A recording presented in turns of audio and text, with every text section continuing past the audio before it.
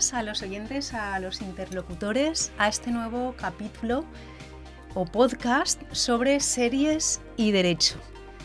Eh, podcast que grabamos dentro de un proyecto de innovación educativa de la Universidad de Valencia titulado Manuales Jurídicos y Materiales Docentes 3.0, coordinado por la profesora Fabiola Meco y quien ahora os habla, María Dolores Más.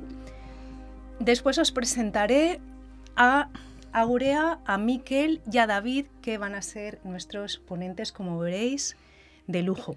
Todos tenemos películas que nos han dejado huella.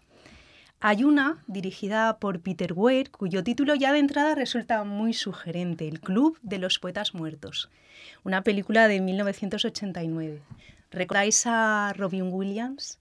En el papel de un profesor de literatura atípico, acaba de llegar a un, colegio, elitista que está anclado en moldes muy estereotipados, moldes tradicionales. No deja resquicio este colegio a la imaginación del estudiantado. Y desde el principio él va a atrapar a sus alumnos, va a pulsar sus emociones, les va a romper esquemas. Pues hay una escena magistral en la que el primer día de clase él se sube al escritorio ante la mirada atónita y las risas de los estudiantes y les plantea una pregunta. ¿Por qué me he subido a la mesa? Y él mismo responde, para recordaros que siempre debemos mirar las cosas de un modo diferente. El mundo, les dice, se ve distinto desde aquí arriba y les invita a subir y a mirar desde allí, que es lo que empiezan a hacer uno detrás de otro. Pues bien, el cine y las series televisivas son un material que nos hace disfrutar, reflexionar, pero también pueden ser un material docente con personalidad propia. Convencidas de esto, hemos iniciado esta serie de podcasts sobre cine o series y derecho, en la que contamos, como os decía, componentes que nos van a subir a ese escritorio, a esa mesa que construyen las series televisivas y desde allí nos van a hacer mirar de otra forma el derecho. En este podcast en concreto, el derecho de sucesiones, las herencias. Estos ponentes son, en primer lugar, Aurea Ortiz Villeta, que es historiadora y crítica de cine y series, además de técnica de la Filmoteca Valenciana. Buenos días. Hola. Miquel Labastida es periodista, jefe de desarrollo digital de las provincias y crítico de televisión del Grupo Vocento. Buenos días. Muy buenas. Y por último, David Brieva, librero, propietario de la librería Bartelby, gestor cultural y experto, experto en cómic e ilustración. Buenos días, David. Hola, muy buenas. Vamos a meternos en harina ya, si os parece. Venga. Se ha dicho que en el cine se ha filmado todo o casi todo. Y las herencias son una buena materia prima de la que también se nutren las películas y muchas series de ficción. Yo diría que lo tienen todo. Tienen conflictos familiares, situaciones inesperadas, emociones, juegos de poder, amor y desamor, comedia incluso. Y ya en el cine mudo. A quien no la conozca, yo le invito a ver una película de Buster Keaton de 1925 que se llama Siete ocasiones. Después ha habido remakes modernos, y en ella el protagonista tiene un día para casarse si quiere conseguir una herencia. Le han puesto esta condición. Y lo que se le ocurre es poner un anuncio en el periódico y a partir de ahí, pues imaginaos las situaciones cómicas que se van a producir. Por cierto, que esto puede servir a nuestro estudiantado para reflexionar sobre la posibilidad de someter a condición la recepción de una herencia. Eh, a la condición en concreto de contraer o no contraer matrimonio. Yo no voy a resolverlo aquí, ¿eh? lo dejo para que ellos y ellas lo investiguen. Pero si hablamos de series y herencias, seguro que lo primero que nos viene a la mente son los llamados culebrones o series de sagas familiares. Yo creo que podríamos empezar hablando de ellas. Además, afloran temas también de familia, como son la aparición de hijos desconocidos, algunos nacidos fuera del matrimonio, eh, eh, posibles desheredaciones, reparto desigual de la herencia. Mm, haría un apunte y ya os doy, os doy paso. Y, y este apunte es el siguiente. Muchas de estas series em, transcurren en países como Estados Unidos en los que existe libertad de testar, es decir, no funciona lo que llamamos legítima, es decir, no hay una parte de la herencia que necesariamente tenga que ir para determinados parientes, como los hijos, por ejemplo, sino que libremente el que llamamos causante puede dejar como quiera eh, sus bienes. Esto a lo mejor hace que las luchas intestinas sean peores, pero desde el punto de vista docente yo también llamo la atención al estudiantado. El sistema de legitimas está muy cuestionado desde hace décadas ya en España. Ha habido cambios sociológicos. No es lo mismo como en la época decimonónica, cuando esto se introduce por ejemplo, en el Código Civil, aunque ya venía de antes, en que cuando fallece un padre, porque no, digamos, éramos tan longevos, ¿eh? se fallecía más joven, los hijos todavía están en edad, si me permitís, de merecer, todavía se han de labrar un camino económico, una seguridad, que si el hijo tiene ya 60 años cuando fallece el padre, a lo mejor lo dejo ahí, no tiene el mismo sentido. No, no quiero consumir más tiempo. ¿Qué me podéis contar de esas series, de esos culebrones en relación con las herencias? Es que yo creo que es un cliché, ¿no? Yo creo que cuando nos planteasteis este podcast para hablar de sucesiones, que es un tema como que a priori encajaba así como ya veíamos cómo con esto de las series. Eh, yo creo que lo primero que piensas es en los culebrones, claro, en estas, en Falcon Crest, en Dinastía, que además se llama así, Dinastía, bueno, en Succession, que ahora hablaremos de ella. ¿Estás llamando a Succession culebrón? Eh, no, de lujo en todo caso, no, es una serie extraordinaria, no, lo que lo retiro. No, pero en estas eh, series sobre todo, ¿no? Donde se plantea eso, entonces es que es un cliché, es que da un juego enorme, ¿no? ¿Quién heredará, incluso aunque no esté muerto el padre o quien tenga la fortuna, sino esa idea de quién se va a quedar finalmente con ello.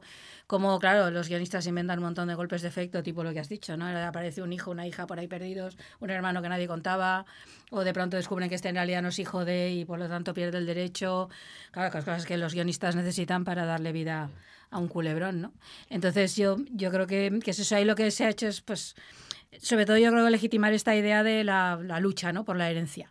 Sobre todo un mundo como violento, competitivo, en el cual hay, bueno, está el amor fraternal, pero mm, depende. Si hay una herencia por medio. Depende de cuántos ceros hay claro, en la cuenta. efectivamente, ¿no? Entonces hay una idea así, como tal, que tampoco la inventan las series, esto viene de muy lejos, de la novela del siglo XIX, de Dickens y de muchos otros, ¿no? De Wilkie Collins, de toda esa idea de la, de la herencia está, pero ahí la ponen al día y, sigue existiendo, ¿no? Todo eso. Sí, eh, efectivamente yo creo que es lo primero que piensas en estas series. Eh, Claro, a nivel legal, nosotros somos muy interesantes lo que nos has contado, porque somos unos ignorantes, nos podemos creer todo lo que aparece en la serie y estos culebrones además son especialistas en complicarlo, como bien, aparece un hijo ilegítimo y tal, eso a nivel legal, ¿cómo funciona? ¿Qué, derechos tiene cada uno? ¿no?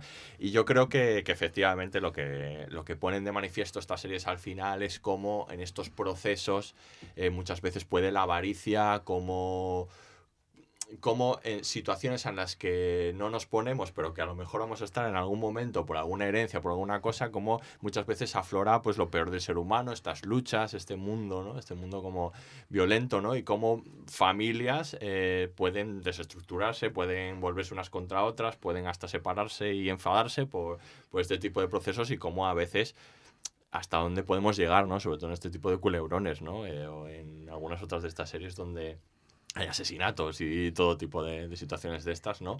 O donde muchas veces, como por ejemplo en Downton Abbey, pues mm, la herencia lo que supone es con quién se va a casar la heredera, ¿no? ¿Qué, qué trabas ponemos a eso, ¿no? A las libertades en, en pos de, estos asuntos. Sí, sobre todo en el caso de las mujeres, ¿no? Como determina con quién se tienen que casar o quién no, ¿no? Teniendo ese tipo de cosas, sí. Mira, me viene muy bien que hayas utilizado la expresión hijo ilegítimo que yo creo que todavía sociológicamente ese cliché existe y en esto hubo un cambio bueno, la Constitución y el periodo inmediatamente anterior mm, tuvo mm, a nivel legal mucha importancia en esto, pero también refleja unos cambios sociológicos, porque antes los hijos que nacían fuera del matrimonio, los hijos ilegítimos estaban discriminados legalmente en muchos planos, entre ellos el sucesorio. Pero esto ya ha cambiado en la legislación actual y hay una absoluta equiparación de, los hijos y, de las hijas con independencia de este factor. Bueno, dicho, dicho esto, yo eh, además también habéis nombrado ahí a Jane Austen, a Dickens. Podemos, si os parece, dar un salto e irnos a otro tipo de series. El maridaje entre cine y literatura es otro clásico que se proyecta en, en, las series de ficción. Algunas tienen ambientación histórica y se basan en obras de, de grandes escritores, como estos dos que acabamos de nombrar. Y una de las cuestiones que yo creo que traslucen es la discriminación entre hombres y mujeres. Una discriminación que apreciamos, por ejemplo, a la hora de suceder en mayorazgos que comprenden una serie de bienes de la nobleza que no se podían enajenar, por ejemplo, Jane Austen, esto lo podemos ver, no se podían enajenar libremente, pasaban eh, de generación en generación, pero discriminando normalmente a las mujeres, los varones con preferencia a las mujeres. Con lo cual, en este ámbito patriarcal y además si hablamos de la nobleza en que tenían prohibido, entre comillas, dedicarse a trabajos manuales, lo que le quedaba a la mujer, que era pues aspirar a, entre comillas, casarse bien, ¿no? A un matrimonio ventajoso. Por cierto, volviendo a Dickens, mm, unas pinceladas que me parecen curiosas para el estudiantado que nos escucha. Eh, ¿Sabíais que, que Dickens llegó a trabajar como pasante en un despacho de procuradores? Además, su padre fue encarcelado por deudas en una época en la que existía, ya no, la prisión por deudas y en la que además, si así lo querían, los familiares podían vivir en la cárcel con el propio condenado, cosa que sucedió con, con la familia de Dickens. Además, una familia que se vio favorecida años después por una herencia de 250 libras, que entonces sería muchísimo. En aquella época, aunque mm, digamos que Dickens, por cuestiones que ahora no vamos a entrar, pero que invito a investigar, al estudiantado no, no se vio muy beneficiado de entrada por esa herencia. Pero no divago más. ¿Qué nos contáis sobre estas series eh, de ambientación histórica o no, que mezclan cine, literatura? Es que hoy en día eh, Jane Austen se ha convertido casi en un cliché, desgraciadamente, que tiene una inmensa calidad su obra y es para un legado esencial de la literatura, pero es verdad que se ha convertido en eso, en un cliché como de la, del, del, cine romántico. Pero es verdad que toda la historia de todas las protagonistas de las películas, de las novelas de Austen, es que no tienen derecho a la herencia. En Orgullo y Prejuicios así, la, toda la obsesión de la señora Bennett de la madre por casarlas es porque ni siquiera son dueñas, solo son hijas, con lo cual no heredarán y no tendrán ni casa. En sentido de sensibilidad tienen que irse a vivir con parientes que les permitan y que les acojan porque no tienen casa. Entonces lo de casarse es o te casas o es que estás muerta socialmente y no eres nadie, ¿no? En Sanditon pasa lo mismo. Entonces todas las series hoy en día, que más hay muchas y cada vez hay más, y bueno, inglesas hay no sé cuántísimas versiones. Claro, la cuestión además es que mm, esas adaptaciones como suceden periódicamente, o sea, no es que se hayan adaptado en los, en los años 70, ¿no? Es que, es que cada, cada 10 años se adaptan de nuevo, entonces esos temas vuelven a la actualidad permanentemente, ¿no? Esos son, son, eternos y Dickens pasa un poco lo mismo. Sí. No, es que además yo creo que permiten hacer un discurso de género hoy en día, que ya en Austen estaba, evidentemente, y que se ha regularizado con los años, eh, que en principio, bueno, ya le costó lo suyo también escribir y publicar, y ahora entendemos que gran parte de lo que ella plantea, de las decisiones que toman sus protagonistas, pues tiene, están leídas en términos de discurso de género, entendemos por qué las toman o el interés por ser un poco más libres que no pueden, ¿no? De ninguna manera. Y en el caso de Dickens, bueno, como de todo este tipo de novelas, como las de Wilkie Collins o muchas otras de la época, es que la herencia es la base. En Casa Desolada, por ejemplo, que más de una adaptación extraordinaria mm.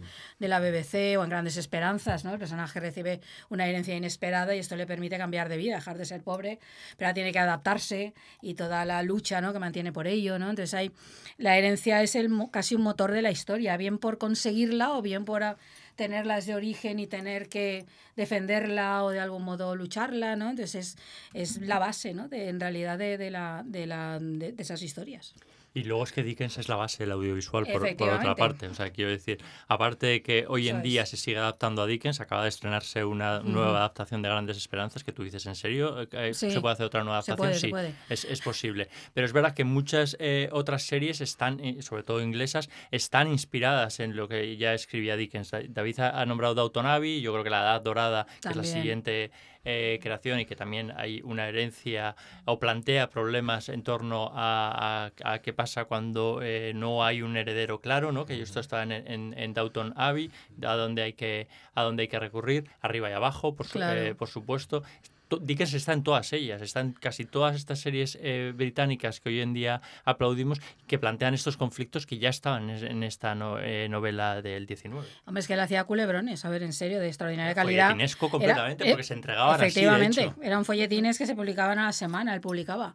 Y luego Dickens y toda la gran novela del siglo XIX, en realidad es el origen del cine como tal y a partir de ahí de las series, del relato, de cómo está construido el relato. Y, en este caso las series todavía más, porque digamos el alargarlo en el tiempo, ¿no? La, estructura de la propia serie permite que sea un relato en realidad que no acabe nunca, ¿no? Puede, incluso aunque se muera el patriarca, la serie puede continuar porque esas batallas pueden seguir siempre, ¿no? Entonces está claro en la base desde lo narrativo, ¿no? A las, propias historias se cuentan. Hasta ahora mm, mm, nos hemos detenido en una visión económica de las herencias, sobre todo como un patrimonio que deja una persona a su muerte, a otra o, a otras. Pero seguro que también podéis presentarnos series o películas que centren su atención en la herencia como legado cultural y social. Yo aún diría más, que presenten el testamento como una muestra de afecto, una muestra, una manifestación de un vínculo personal entre el testador y, otra persona. Y, si nuestros oyentes no la han visto, yo les recomiendo eh, una película, otra de Clint Eastwood, que me gusta, se nota. Otra película de Clint Eastwood ya en su última fase como director, que la aleja de, Mm, de aquella época en que realizaba papeles pues, más violentos, ¿no? de, policíacos incluso. Yo estoy pensando ahora en Gran Torino, en que el protagonista es Wol Kowalski, es un veterano de la guerra de Corea, años 50, ya se ha jubilado, acaba de enviudar y mm, podríamos decir que el perfil de su personaje es un cascarrabias, impenitente, mal hablado, no lleva además nada bien la llegada de inmigrantes coreanos que han copado el barrio en el que él vive. Y sin embargo, conforme avanza la película, podemos ir viendo cómo es una persona llena de, de valores y de humanidad por encima de esa pátina. Y se va desarrollando una entrañable amistad con una familia coreana y en concreto dentro de ella con un, chico joven, un vecino, un vecino suyo. Y en la escena final de esa película precisamente consiste en una lectura de un testamento ante notario, escena clásica en las películas americanas, aquí esto no se hace de esa manera, pero bueno, es muy cinematográfico, y eh, es el testamento de Wolf, porque ha fallecido, está la familia presente, está también este vecino coreano, y todos, la familia tiene la expectativa de que la herencia sea para ellos, pero Wall se lo deja todo a la iglesia. Esto puede ser porque ya hemos recordado al principio que hay libertad de testar. En Norteamérica, no, en Estados Unidos no rige ese sistema de legitimas. Entonces puede hacer esto. Se lo deja todo a la iglesia con una excepción. Un bien al que le tiene un especial apego.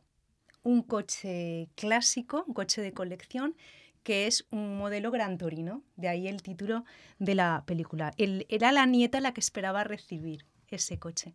Pero finalmente, ¿cuál es no, es su sorpresa cuando el notario dice que el coche Gran Torino es para el joven coreano? Y vemos cómo se enfoca esa sonrisa cálida, preñada de, significado. Pues bien, la última, ya al final final de la escena es eh, el joven coreano conduciendo el coche por una larga carretera con esa música compuesta por el propio Clint Eastwood, pero además no va solo en el coche, a su lado va el perro de Walt Kowalski, lo cual también tiene, él le lega el coche con el, con el perrito. El legado técnicamente es una figura distinta a la herencia propiamente dicha. He querido recordar esta escena para dar pie también a, que los estudiantes piensen sobre el legado, ¿eh? sobre esta figura, sobre la legítima, pero eh, yo creo que también es una introducción para que podáis hablarnos de esas series en las cuales la herencia es algo más que, un patrimonio, ¿eh? que tiene esas connotaciones culturales o, o de otro tipo. ¿Qué os parece? Yo voy a poner solo un... Es que me ha venido a la cabeza mientras que estabas hablando precisamente de, de, de esto, eh, una serie reciente cómica española que se llama No me gusta conducir, en la que el padre deja eh, también el, el, coche. como legado y yo creo que simboliza muy bien lo que eh, podemos hablar de, de, otras series donde en el argumento está mucho más desarrollado, pero el componente emocional, mm. que yo creo que no está en todas las otras series que hemos, que hemos hablado, posiblemente porque hay muchísimo más en juego y cuando son bueno, cantidades más reducidas o objetos o lugares que tienen que ver, que no se pueden repartir y que no tienen un, alto valor, entra en juego estas herencias emocionales, ¿no? que uno quiere conservar y sobre todo quiere em, que son el punto de partida de, otras nuevas vidas. Yo creo que esto está en No me gusta conducir y hay otros, otros ejemplos.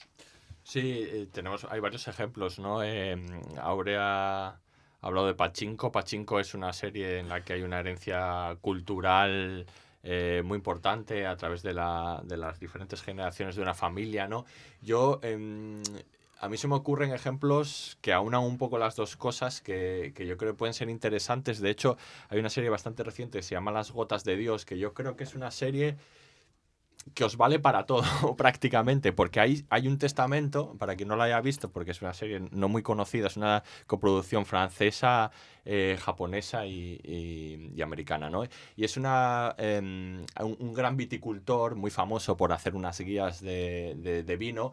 Él de, muere y deja en su testamento, deja eh, en herencia, toda su herencia, toda su, su bodega de vinos y todo su y todo su, todo su dinero se lo deja a su hija y o a uno de sus pupilos que se tienen que batir en, en una serie de duelos sobre conocimiento del vino.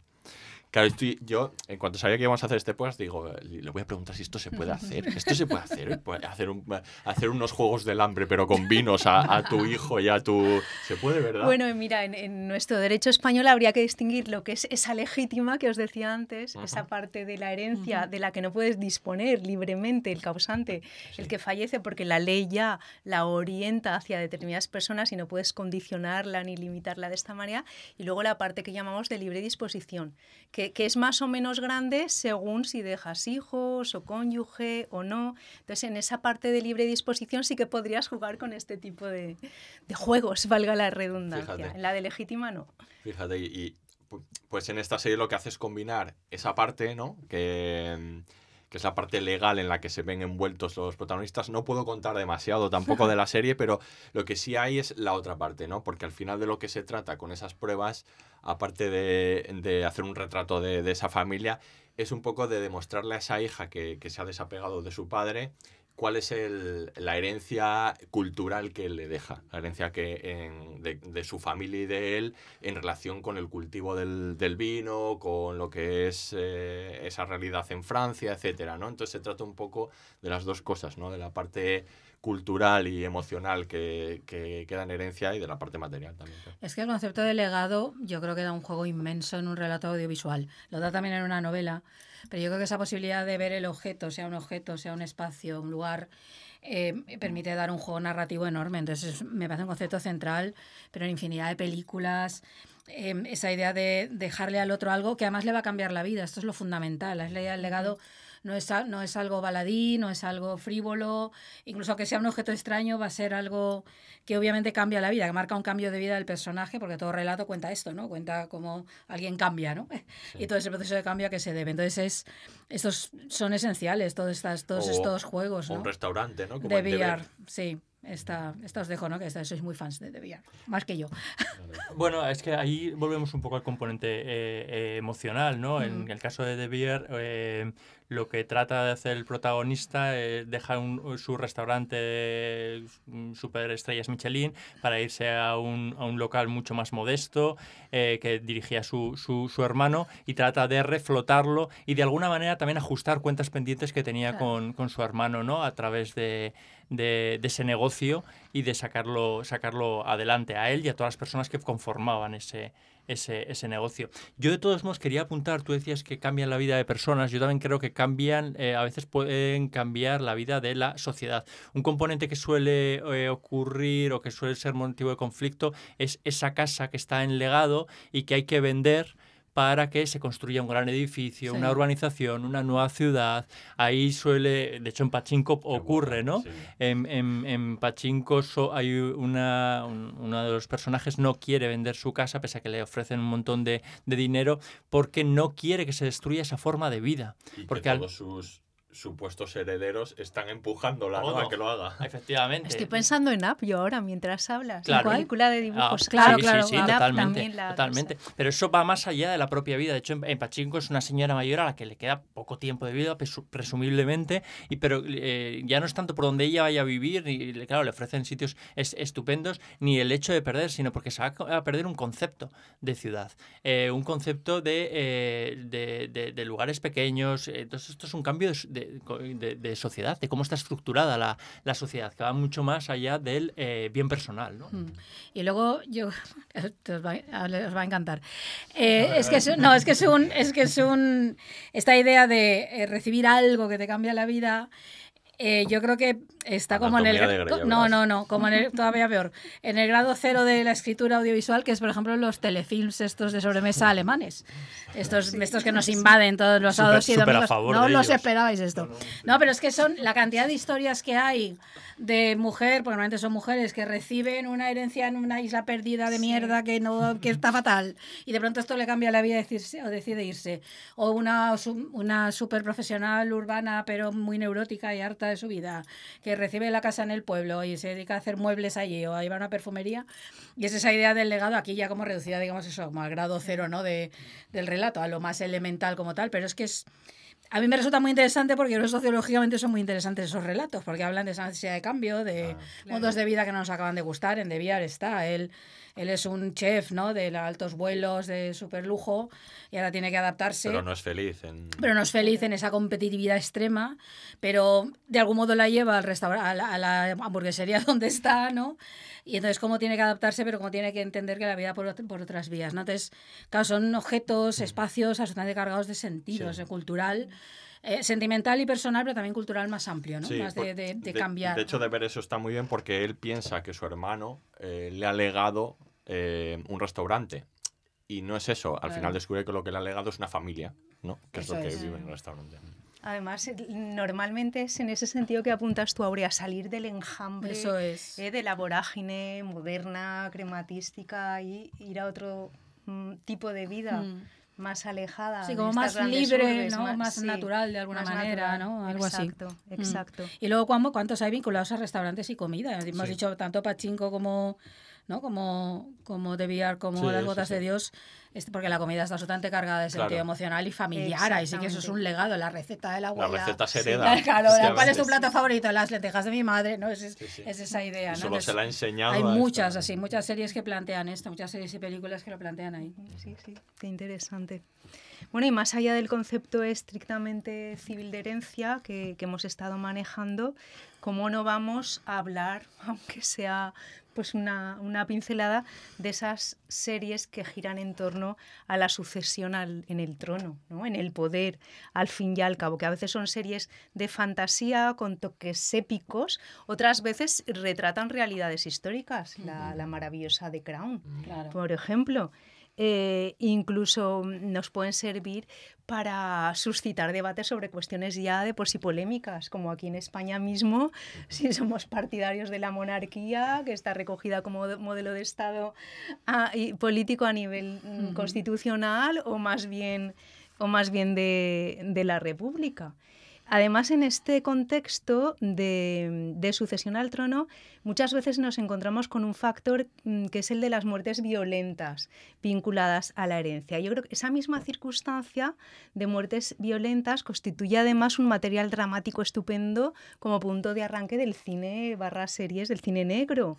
Y estoy pensando en películas como Fuego en el cuerpo o El cartero siempre llama dos veces. De esta última conozco yo dos versiones fantásticas. O Perdición. Fantásticas las dos, o Perdición es un amante por medio eh, que se pone de acuerdo con el cónyuge de otra persona para asesinarlo, que cobre la herencia. Claro, esto si nos vamos a la cuestión jurídica para plantear en las clases, podríamos comentar, por ejemplo, que si se descubriera que son los artífices del asesinato, serían indignos para suceder. Pero claro, toda la trama del guion intenta que esto no se descubra, a veces con mayor o menor éxito. Pero bueno, me voy a ir por las ramas y rebobinando, volvamos a las series que, en las cuales existe un trono o la sucesión a un trono involucrado. De todos modos, eh, eh, hablando de accidentes violentos, simplemente por un apunte seriéfico muy reciente, está la segunda temporada de White Lotus, mm. donde hay, planificada la muerte de una mujer que no ha hecho reparto de bienes con su, con su nuevo marido, creo que es su tercer matrimonio, y entonces como el nuevo marido ha organizado toda una red para, eh, para matarla y cobrar esa herencia y poder pagar deudas que tiene pendientes. Yo creo que supongo que ahora todo el mundo estaba pensando en Juego de Tronos, ¿no? Que es que es, tronos, muertes, no sé qué, tal, es que esto es así. es que Juego de Tronos está, vale, eh, vale que es un trono al que en nuestras vidas cotidianas no accedemos, pero es esa idea tú no tienes dragones en tu casa. De momento no, de momento no. Eh, pero claro, es esa idea de, del poder, ¿no? De tener el máximo poder, además en esta lógica de solo puede quedar uno, la lógica dinástica, ¿no? De, de ese tipo de familia, ¿no? Donde hay un patriarca, ¿no? Normalmente un hombre. ¿No? ¿Quién, es, quién está ahí? Entonces en Juego de Tronos está, está todo esto, ¿no? Está, están todas las actitudes posibles, el que se conforma, el que lo quiere para mejorar, el que lo quiere como pura ambición, el que está dispuesto a lo que sea por conseguirlo, quien tiene líneas rojas. Desde el Juego de Tronos muestra todo eso, claro, un entorno como de fantasía, ¿no? Pero con eh, esto es como Shakespeare, ¿no? Aquí está todo Shakespeare está ahí. Gran parte de las obras de Shakespeare están hablando de eso, ¿no? Todas, entonces están como hoy en día reconvertidas ¿no? en otros relatos. A veces directamente son adaptaciones, pero otras están reconvertidas. ¿no? O en, el caso de The Crown, que es otra historia ¿no? también. Es curioso en, Juego de Tronos también porque está toda esa lucha, pero al final todo, bueno, como ha pasado en la historia también, todas esas justificaciones de cada uno de los aspirantes.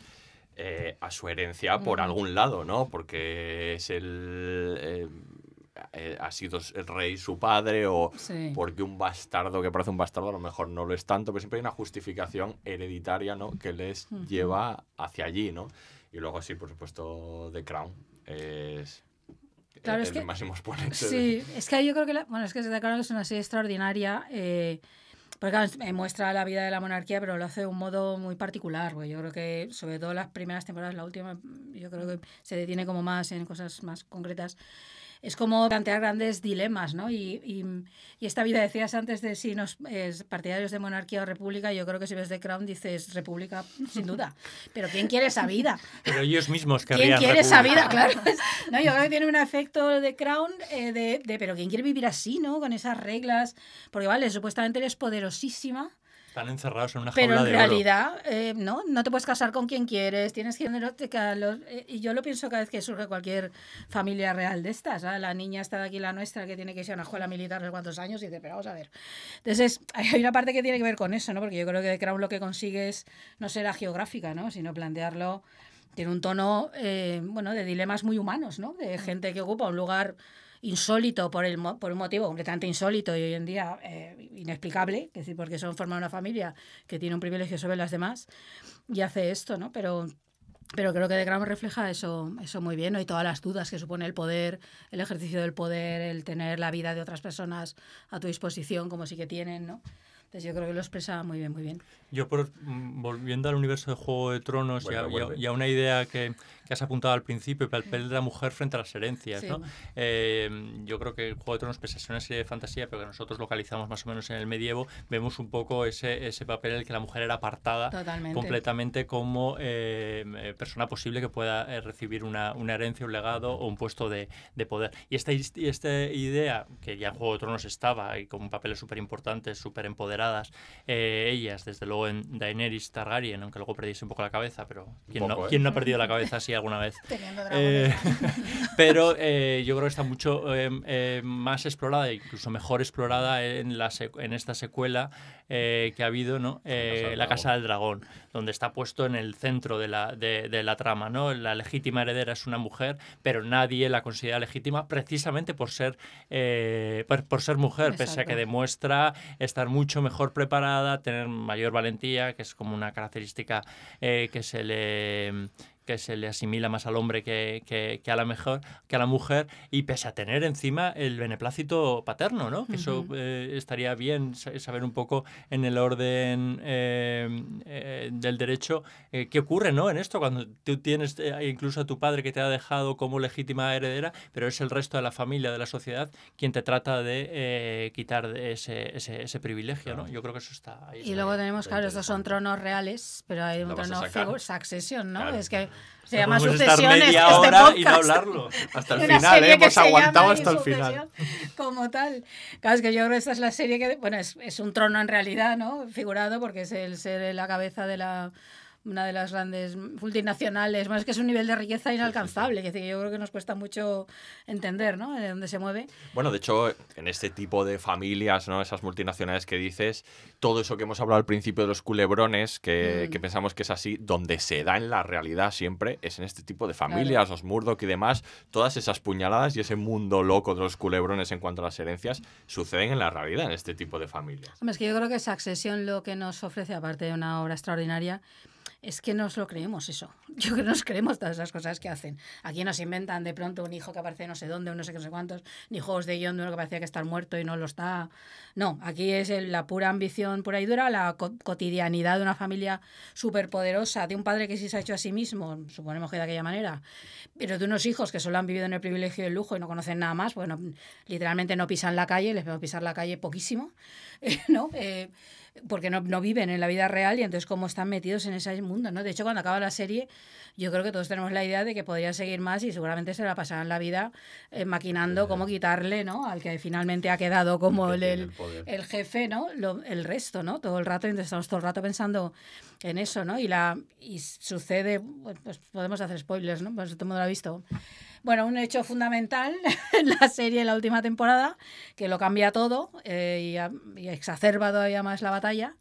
Em, em, pero que en el fondo acaba no cambiando nada. Es como, da igual, eso se perpetúa, es un sistema de poder en el cual todo el mundo lucha, todo el mundo quiere alcanzar el poder y van a seguir utilizando las mismas, en este caso, grandes corporaciones que se mueven en el territorio de, de las juntas de, ¿no? de accionistas. Claro. Aquí ocurre una cosa interesante en esta última temporada, tras ese hecho fundamental que quien haya visto sabe perfectamente quién es y quien no, y está tardando, En, en, eh, en, verla, y es eh, la traslación a, a, nuestra realidad, ¿no? O sea, quiero decir, ¿qué ocurriría en una empresa eh, como Inditex, por ejemplo, si sucede algo similar a a, esto, ¿no? A grandes corporaciones que, y con nombres reales que tenemos, ¿no? Como el de Mancio Ortega o, u otros, si sucede lo que está pasando en, en Succession, en, ese tercer capítulo de la cuarta temporada, no puedo dar más, indicaciones ya, ¿qué sucedería? Yo creo que esto viene bien, ¿no? Para mm. trasladarlo a nuestra realidad. Y luego todas las implicaciones políticas que tiene, es una serie muy política, habla de una familia y de y de cómo se plantea esa sucesión del patriarca, pero claro, es una familia poderosa que lo que tiene son básicamente medios de comunicación. Tiene otras cosas, muchas, pero básicamente esto. Y cómo controla la opinión pública. Y yo creo que eso también es muy importante, es decir, que Juego de Tronos es el rey que va a mandar o el de Crown es quien gobierna y tal, pero aquí, digamos, hay un poder absolutamente real y cierto, igual probablemente más que el de alguien que ocupa una, una corona, ¿no? Y esto yo creo que es muy relevante en la serie también. Claro, aquí habría que hacer también un apunte para el estudiantado desde un punto de vista estrictamente jurídico. Y es que cuando hablamos de grandes o grandísimos patrimonios como el de Succession, normalmente esto se encauza a través de sociedades mercantiles y el tema de la sucesión tiene matices especiales, ¿eh? no es simplemente como de lo que hemos estado hablando hasta ahora, ¿eh? de un patrimonio, testamento, herencia, que esto ya tiene otros matices de sucesión en la empresa, en los que ahora desde luego no, no vamos a entrar. Bueno, estamos consumiendo el tiempo, nos quedamos con ganas de más, pero yo no querría acabar sin subrayar que, como también hemos podido ver, el derecho de sucesiones está plagado de cuestiones a veces muy técnicas y, muy complejas. Sin embargo, también admite aproximaciones con miradas desde el cine, con toda la potencia del entretenimiento, de la reflexión que esto nos ofrece. A veces incluso miradas desde producciones que están destinadas al público más inocente, como pueden ser series o películas de dibujos animados. Y yo cierro con una sugerencia para nuestros oyentes y es que revisen Los Aristogatos de Walt Disney. De Succession a Los Aristogatos me parece una evolución fantástica. Pero ahora verás, ahora verás, toda la trama de Los Aristogatos, si os fijáis, está construida sobre una cuestión de las más técnicas del derecho de sucesiones o de herencias, que nosotros llamamos sustitución fideicomisaria. Todo el hilo argumental se trata de, de una gran dama eh, no tiene hijos, es soltera y hace testamento para que cuando ella muera toda su gran fortuna vaya a parar a sus gatitos que adora. Y cuando el último de los gatitos muera, y eso de que los gatos tienen siete vidas, pues ahí lo dejo, todo pasará a su eh, fiel mayordomo Edgar. Pues toda la película son los intentos de Edgar por matar a los gatitos y entrar directamente en la herencia. Pero todo es una sustitución fideicomisaria. Por tanto, yo no, sé si os parecerá buena idea, pero si aceptáis el reto, os invito a que en nuestro próximo podcast, ¿por qué no?, sea sobre derecho y fines o series de, de animación. Así que muchas gracias a los tres, Aurea, Miquel, David, por habernos dedicado vuestro tiempo y esperaremos el siguiente podcast con esa anticipación con la que se espera el próximo capítulo por salir ¿eh? de una serie de, las que nos atrapa y, que tenemos que, seguir con fruición. Muchísimas gracias. Damos el reto, ¿eh? sí, sí, sí, perfecto, perfecto. Gracias. Muchas gracias.